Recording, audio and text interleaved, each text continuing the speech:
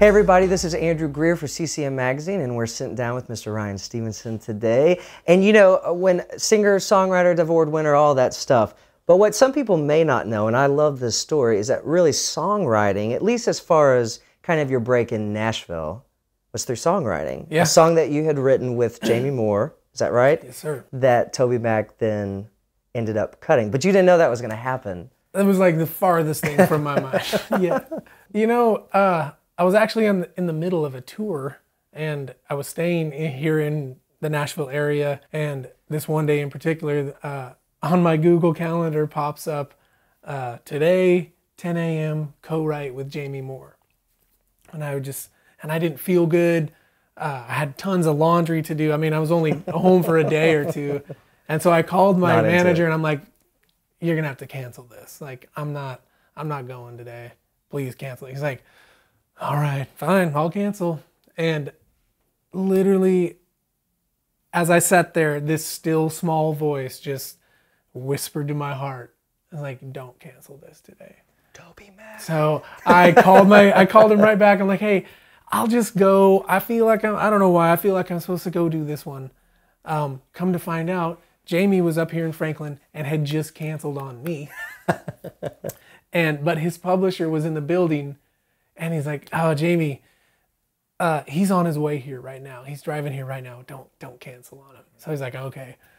So I walked in the door. I'll never forget it. I didn't even remember the address of the building. I walked through this old dingy looking red brick building. It's like, what do you want to work on today? Come on back. I said, you know, I got this idea. I want to write a song. I've been working on this song about how the words that we're speaking literally can bring life or death. They can change the environment around us. And that 20 minutes later, literally, we had like a version of Speak Life. And then Toby owns that building and was coming in there working on his record called Eye on It. And Jamie began to show Toby some of the songs that we were working on for me, uh, including Speak Life.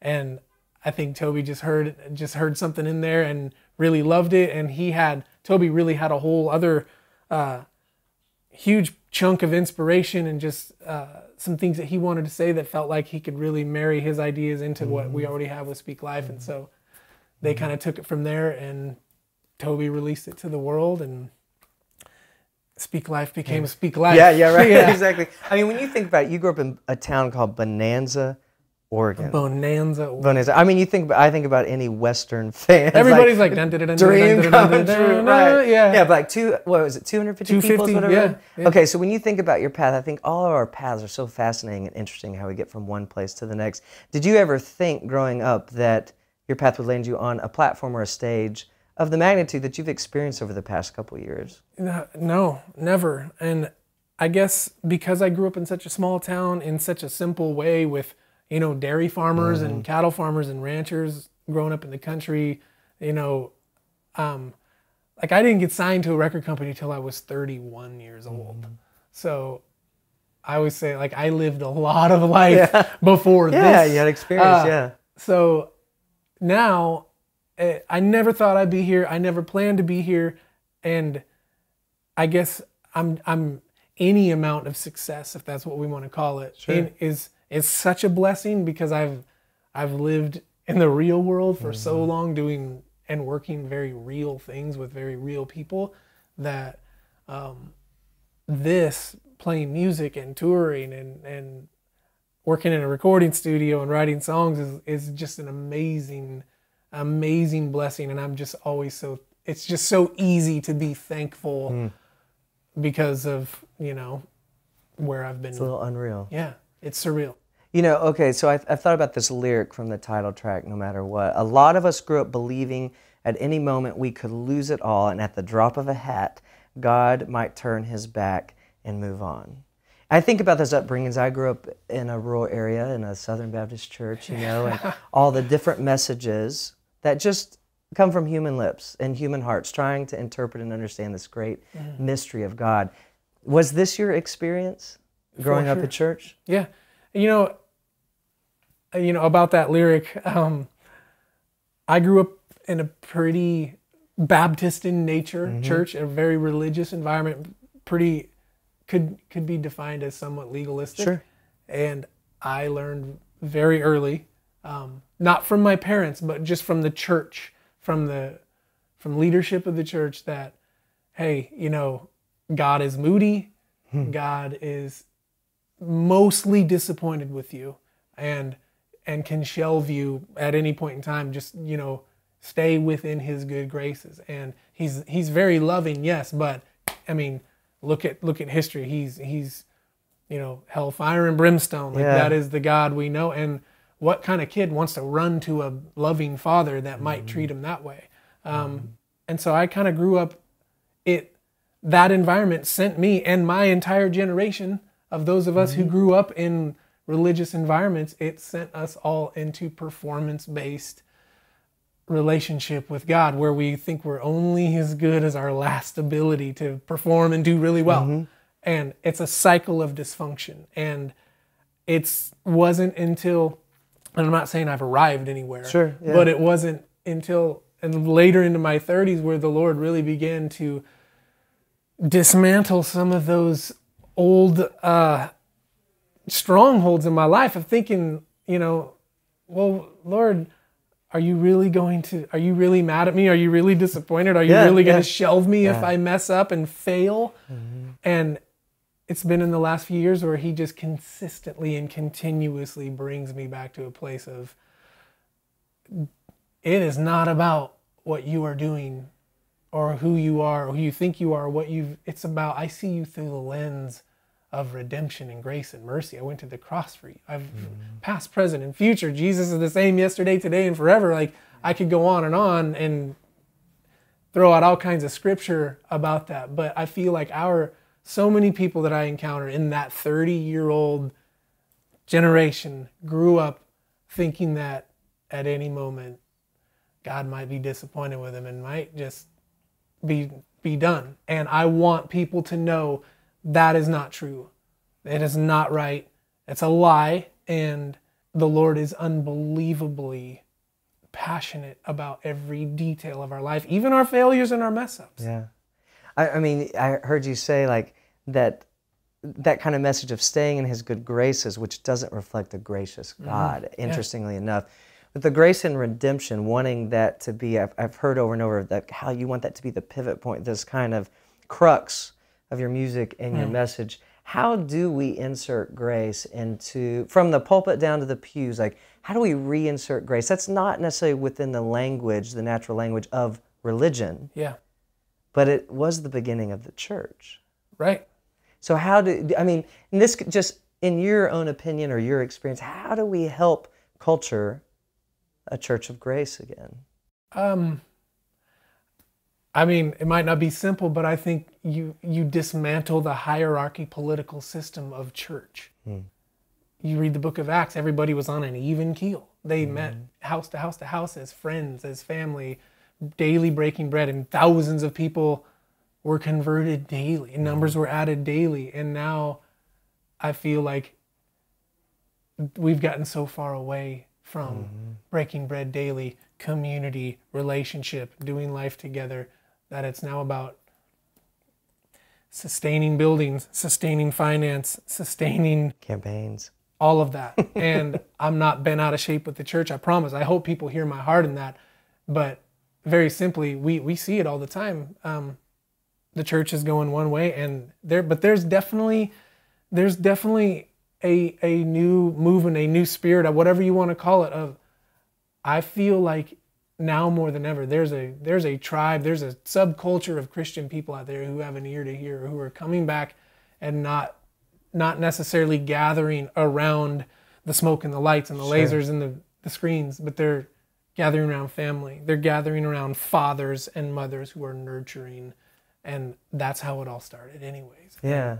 You and I are the church, Yeah. right? I, I, my brother was telling me that recently because he actually kind of said, he said, I hear you saying in a couple of interviews, the church is this and church is that. He's like, church is you and me. The organization of the church has definitely failed uh, our culture and society to some degree and has flaws. And I thought that was really interesting when I, I bring it back to me. And I've heard you bring it back to like the individual and the way that we approach communion with God. You talk about community relationship with God, um, doing that as if we were once again children. Like I heard you say that these songs on this record are like letters from a child to a dad. Mm-hmm.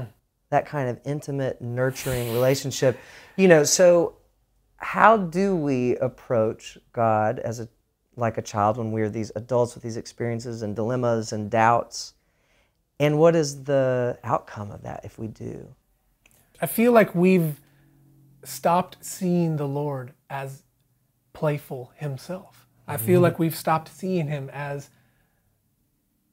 as a child. I feel like we have outgrown God.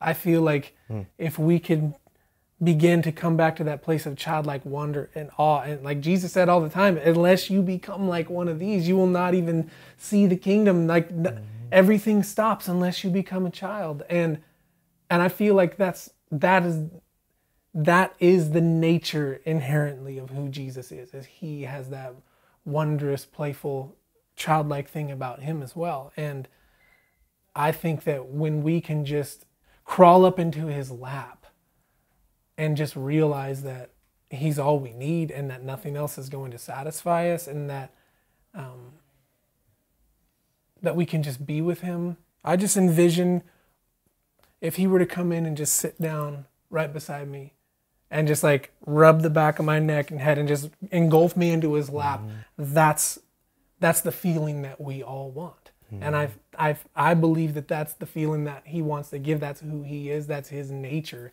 is to swoop us up into into his into his chest into his lap and just hold on to us. And we don't do that enough. We don't allow him to be that that abba to us. Yeah. It, I keep thinking of this imagery of him literally just looking out with us. Here we are, Yeah. kind of confounded by all that's in front of us, not totally understanding, some in awe, some in doubt, and him not solving it all on the spot, but literally just being shoulder to shoulder with hmm. us.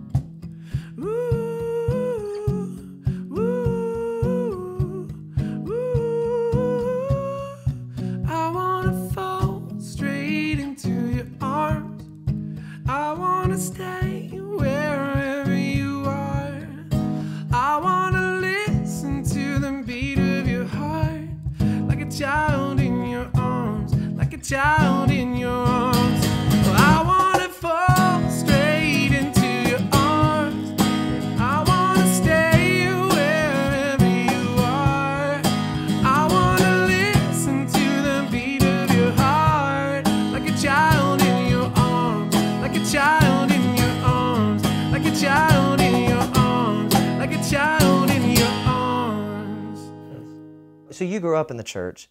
Does that mean you were aware of? Did you listen to Christian music? Yeah, somewhat. I mean, before I listened to Christian music, I listened to Michael Jackson. Uh, It's my better. sister, my sister brought home a a Michael Jackson Thriller cassette tape. Okay. Snuck it home somehow, and uh, my mom. It's like my mom listened to this stuff called Maranatha Praise. Yeah, yeah. And uh, that was what she was bumping all the time. But my sister got a hold of a thriller cassette tape. And then my dad, my dad bought a stereo system off a guy at one of the dairy farms. And when he bought the stereo, um, whoever we bought it from had left a tape in the stereo. Okay. And it was wham, make it big.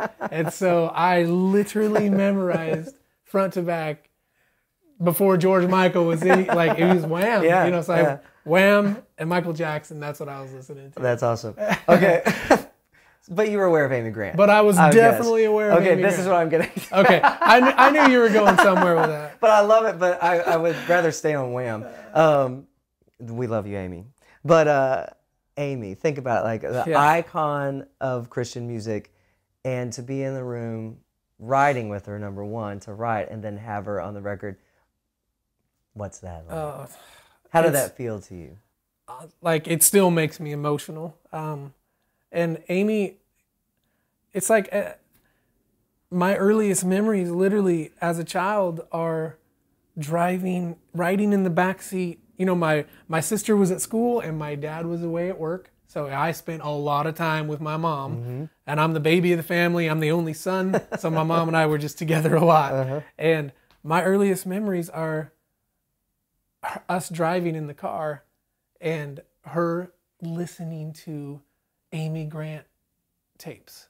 My mom was a big fan of Amy Grant and like El Shaddai and this song called Giggle and like oh, I just remember them all. And so I grew up loving Amy Grant and I loved her even more because my mom loved her. I loved Amy because my mom loved Sure. Amy.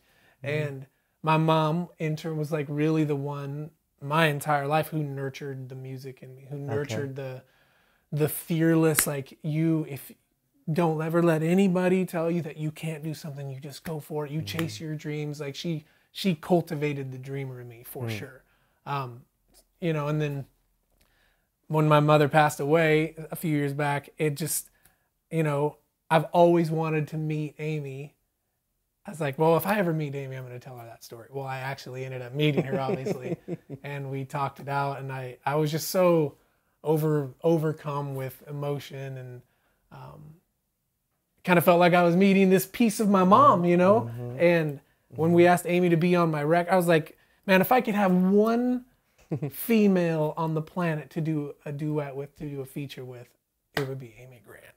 And she's definitely gonna say no.